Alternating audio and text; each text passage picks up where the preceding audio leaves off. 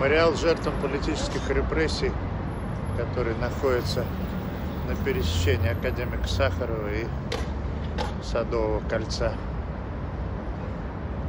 Открыт был этот мемориал в 2017 году на средства правительства Российской Федерации. Вот они, жертвы политических репрессий, как сплошная стена. И